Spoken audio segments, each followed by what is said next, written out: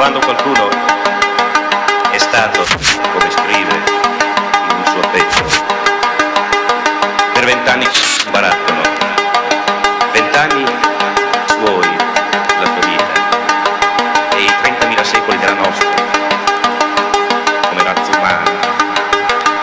barattolo di conformismo della cosiddetta civiltà.